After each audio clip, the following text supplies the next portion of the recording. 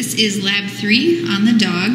So we are working on the isolated forelimb that you took off after lab two. So you removed your forelimb and this is the isolated forelimb.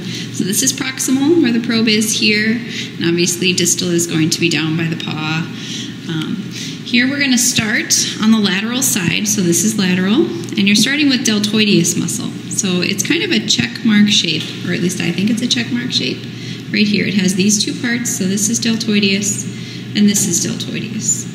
So what you want to do is clean up the borders of deltoideus, and then you're going to cut across both parts with an incision there, and then reflect.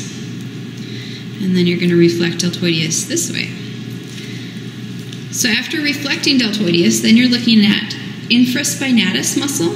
So here's your trapezius. We'll just flip that up. And infraspinatus is this muscle here. So infra, below, spinatus, spine, so below the spine of the scapula. So infraspinatus. And infraspinatus you're going to also transect in the middle and lift it up. And I recommend using a scalpel handle or something like that to go down and push it out like that and scrape it out. Because you're going to reflect it all the way so that you can see this subtendinous bursa, which is the shiny part here. Hopefully it shows up on the video. But this little shiny area here underneath the tendon of that. So you need to bring it all the way back. So that's a typical mistake is not to bring it far enough and you stop here and you don't see the bursa, so you have to make sure and pull it all the way and see that shininess. Okay, then we have the little teres minor muscle right here, just distal to that infraspinatus, so teres minor. And then we have supraspinatus, so we'll put these back and then reflect the other part of trapezius, the cervical part, and this was omotransversarius. So reflect that, and you have supraspinatus. So supra meaning above, spine, again spinatus. So above the spine of the scapula. So supraspinatus, and that actually wraps around the cranial edge of the scapula a little bit here.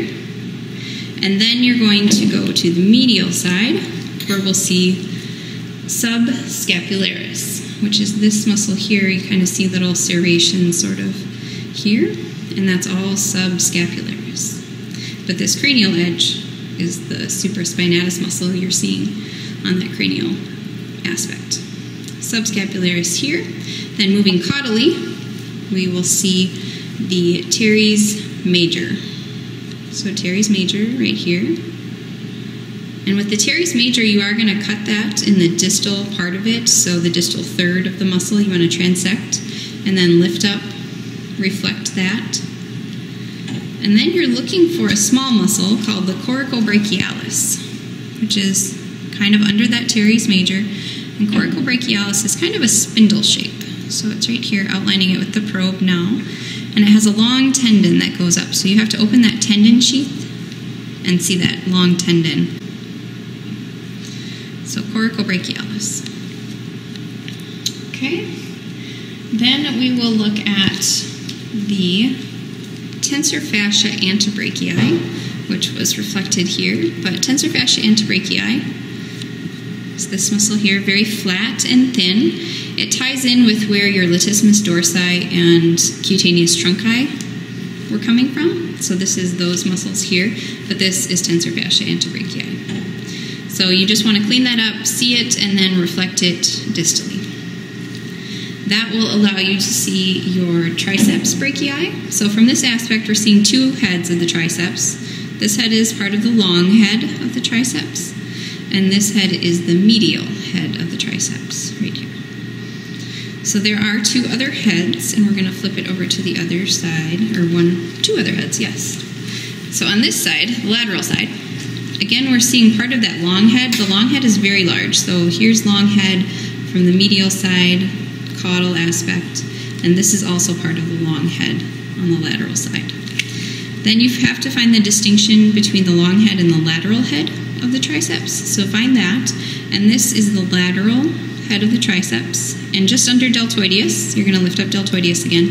And this has an aponeurotic origin, so just an aponeurosis here that you want to cut through and then reflect that lateral head back. So under the lateral head of the triceps, then you'll see the accessory head of the triceps brachii right there. All right, and then we'll move down to the elbow region, and we have the anconeus muscle. So between the forceps and the probe is the anconeus. It kind of is a wedge shape, and it's just covering that elbow joint. So that's the anconeus muscle. Then we have brachialis muscle. So we reflected that lateral head of the triceps. We've reflected deltoideus cranially, and under those you'll see this muscle here is brachialis. I always say there's an L in it for lateral, if that helps you, but brachialis muscle right here on the lateral side. Then on the medial side, we'll see the biceps brachii. So here we're reflecting pectorals, so reflect those cranially.